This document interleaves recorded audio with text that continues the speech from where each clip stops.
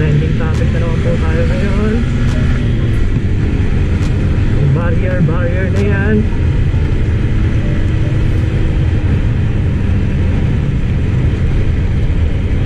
Pero maganda niyan mga ka-MGI, allowed na na mag-angkas yung mag-asawa sa motorsiklo. So, ah good improvement yun. Pero syempre, may konting issue tayo. Yung barrier. Yung barrier dun sa pagitan ng mag-asawa o magjowa habang nagmamotorsiklo.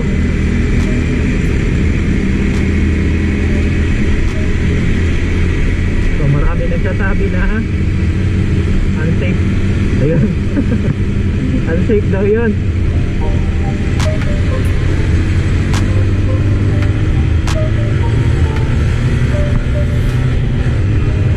Well, uh, sa tingin ko, unsafe nga talaga siya.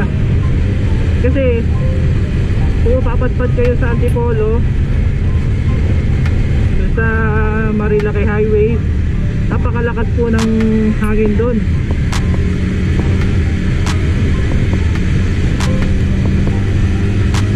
Pwede po niyang ilipad yung back ride natin. Or kasama na rin po yung rider. So, kung safety yung pag-uusapan, ah medyo nagkakaroon tayo ng problema doon guys. Pero kung safety naman against COVID-19, pasado siya. Kasi nakita mo naman yon face mask na. May visor pa. Tapos merong barrier. Ayos. Pero sabi naman daw nila ah nirekomenda yun ng mga expert ng LTO kasi doon sa nabasa ko na article na pinost yung explanation ni Undersecretary Malaya. So ipa-flash ko na lang dyan kay MG yung article para makita nyo rin yung source ng aking research. Babanggitin na rin natin guys. Yung sinabi ni uh, Secretary Anyo regarding dun sa Juan kahit wala naman daw yung barrier delikado talaga yung, pag, yung mga motorsiklo. Dangerous daw talaga yung motor sa daan sabi niya. Well uh, lalo pang naging dangerous gawa ng barrier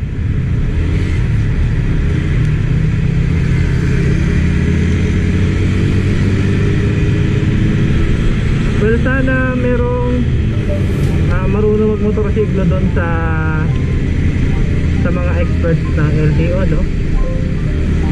Kasi ang dami talagang nag-react na hindi pabor doon sa paglalagay ng barrier sa pagitan ng mag-asawa. Or mag-DF, mag-DF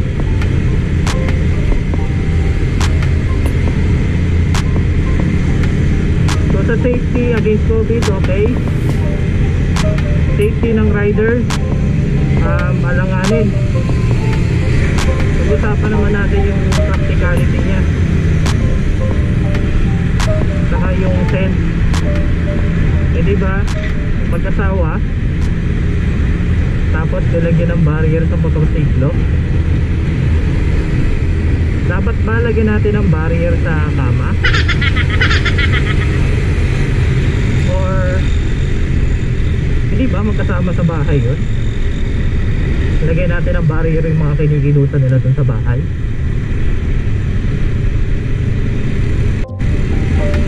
So yun lang yung medyo ah, conflicting doon kasi kahit di naman nila makuha yung COVID dun sa pagmumotor magkakasama rin naman sila sa bahay. Distance no so meron din naman nag ah, meron tayong senador ngayon na na-oppose sa idea si Senator Revilla. Kalain mo yun. Sa bagay ano yan nagmamotor din kasi siya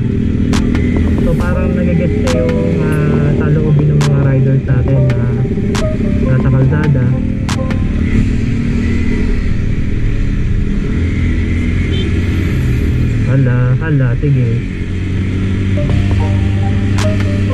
Saka sayang din yung pagpapagawa nila ng ng barrier no? Imbis na nagastos sila na sa pagkain di ba? Nakita ko sa facebook na umabot ng 2,500 yung halaga niya. Para dun sa pagpapagawa nun.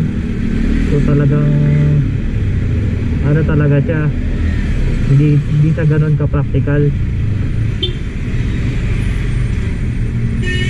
Hala. So sana sana guys i-reconsider ni IATF or DDILD na alisin na lang yung barrier. Kasi sa tingin ng mga eksperto natin sa pagmumotorsik no? Siyempre nandyan na si Colonel Botita. Alam niyo naman yun sikat yun si Colonel. Na hindi practical yung barrier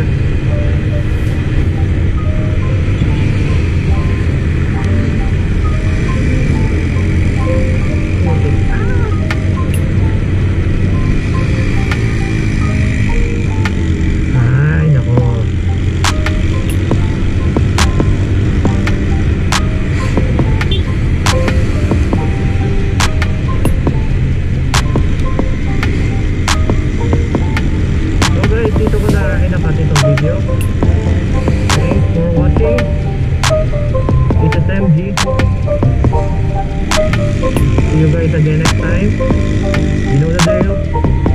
Ride safe and ride responsibly. Alright, Mario!